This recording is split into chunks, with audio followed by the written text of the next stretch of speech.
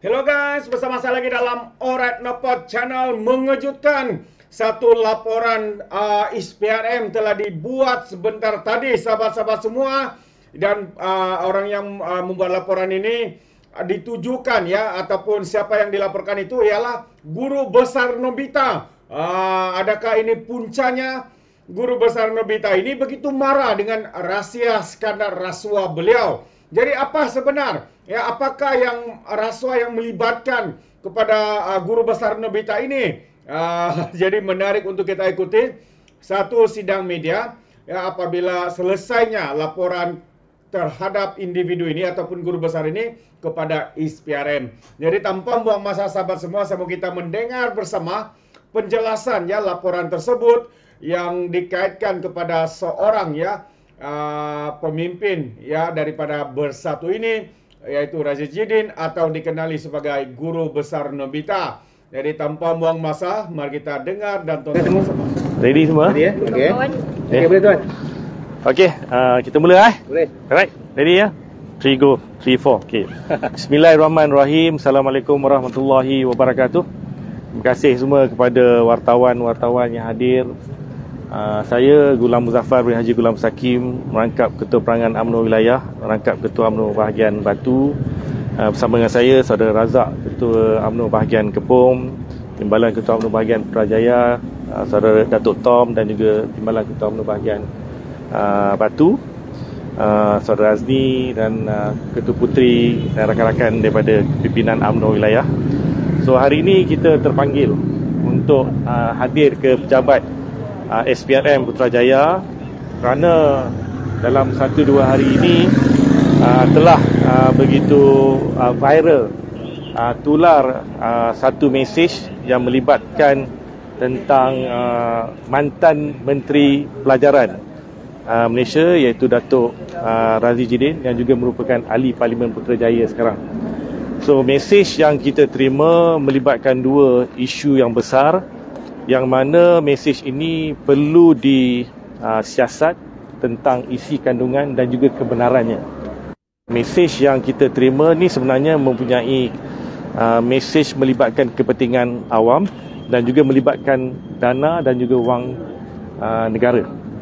Mesej itu berbunyi iaitu tentang isu-isu ataupun skandal kontrak yang dilaksanakan di peringkat uh, Kementerian Pelajaran Malaysia yang melibatkan seorang nama uh, Datuk Chia yang mana kontrak-kontrak yang perlu diselenggarakan di sekolah-sekolah di bawah uh, teraju uh, yang berhormat menteri sebelum tu iaitu Datuk uh, Razi Jidin yang tadi saya sebutkan sebagai ahli Parlimen Putrajaya.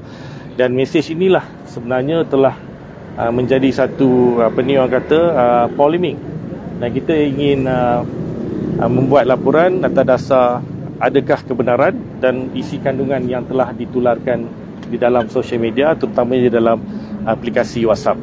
Dan juga daripada mesej itu ada lagi satu mesej yang uh, di juga ditularkan uh, di dalam uh, sosial media dalam aplikasi WhatsApp juga iaitu mesej tentang pemberian kontrak uh, untuk uh, buku ataupun percetakan uh, Jacob yang mana telah diberi uh, dan telah dimaklumkan dalam mesej itu uh, kepada seorang yang bernama Tengku.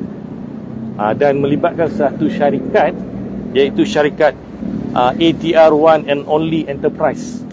Uh, dan ini juga mesej yang telah uh, tular yang menunjukkan uh, ada dan kemungkinan melibatkan tentang penyelewengan yang dibuat oleh uh, yang berhormat uh, Datuk Razidin yang ketika itu adalah Menteri Pelajaran Malaysia.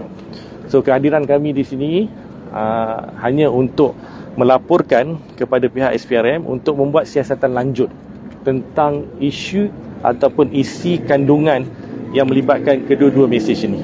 So itulah tujuan kami berada di sini. So insyaAllah saya dengan rakan-rakan akan hadir uh, ke SPRM sekejap lagi selepas habis sesi uh, apa ni uh, PC ni untuk kita melaporkan secara resmi. Kerana sekiranya tanpa laporan ataupun aduan resmi mungkin pihak berkuasa terutamanya SPRM tidak dapat melaksanakan tanggungjawab.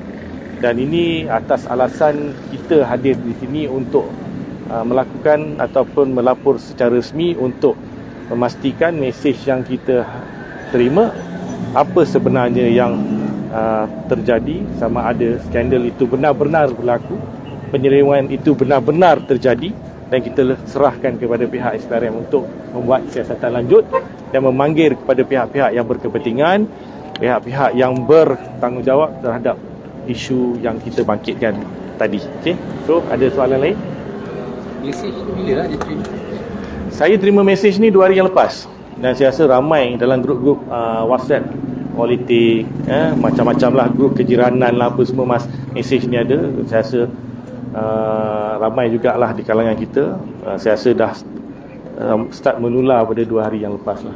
Dalam dakwaan mesej tu ada tak tempoh bila yang uh, berlakunya perkara ni? Dia dinyatakan tak dalam? Uh, dia tak ada bagi tahu tempoh tapi dia ada menyatakan ketika uh, Datuk uh, Razi Jidin menjadi menteri uh, pelajaran lah. So faham-faham lah bila tempohnya kan. Uh, so dia semasa menjawab sebagai menteri kanan, tak silap saya menteri pelajaran Malaysia, uh, itulah tempohnya dan pasal tu kita serahkan kepada pihak uh, SPRM sebab uh, isi kandungan tu begitu general uh, tapi biarlah pihak SPRM ataupun pihak uh, agensi penguatkuasa yang lain untuk drill down bila tempohnya siapa kontraknya macam mana berapa jumlahnya sebab uh, mesej yang hantar pada kita yang tular tu adalah berbentuk begitu general tapi kita nak minta SPRM untuk uh, men, apa ni menyiasat lebih dalam dan lebih teliti tentang uh, isi kandungan mesej itu okay?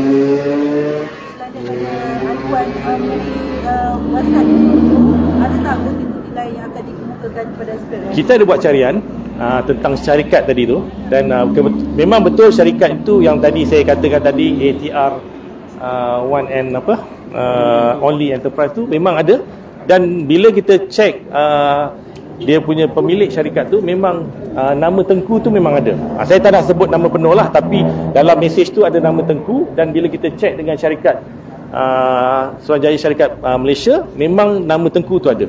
Ada uh, saya rasa ada justifikasi kenapa nama syarikat tu dan nama orang yang ditularkan uh, Tengku tu memang betul uh, dan itu salah satu punca kenapa kita rasa ada uh, kebenaran dan mungkin juga kalau nak gunakan istilah mahkamah ada prima facie untuk kita nak uh, apa ni mengambil sedikit uh, apa ni bukan sedikit tapi mengambil uh, orang kata apa uh, siasatan lanjut lah uh, itu yang kita nampak daripada segi keraguan tu lah dan berbalik kepada yang tadi yang tular yang pertama pun memang melibatkan uh, Datuk Chia ni. Dan kita nak tahu siapa Datuk Chia ni Uh, we don't know tapi apa yang kita tahu Datuk Chia ni orang yang mempunyai hubungan dan dia ibarat seperti seorang kartel uh, yang mana ditularkan dalam kita punya mesej ni dia seorang kartel yang pergi ke PPD pejabat pendidikan daerah dan dia jumpa dengan pengetua dan dia jumpa dengan orang-orang yang berkepentingan di sekolah untuk uh, mendapatkan kontrak-kontrak yang mana kontrak-kontrak ni semua diuruskan di peringkat Kementerian Pelajaran. Uh, so ini yang kita nak minta pihak SPRM siasat. Ya. Ada lain? Okey. Okey. Itu je eh. okey Alright, terima kasih. jadi Ah, tak satu ada satu. Ha, saya dah dia ni tadi ada tadi yang okey oh, sorry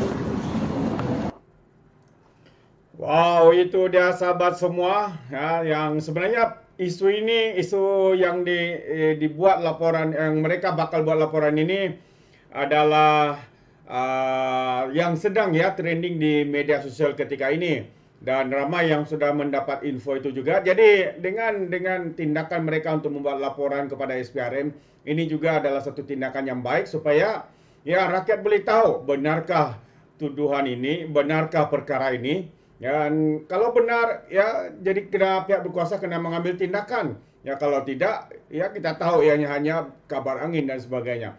Jadi ya harus dibuktikan, di, siasatan harus dilakukan. Jika ia benar yang perkara ini melibatkan kepada guru besar Nobita ini, jadi tindakan tegas harus dilakukan. Jadi itu sedikit tambahan pandangan saya berkaitan dengan perkara ini.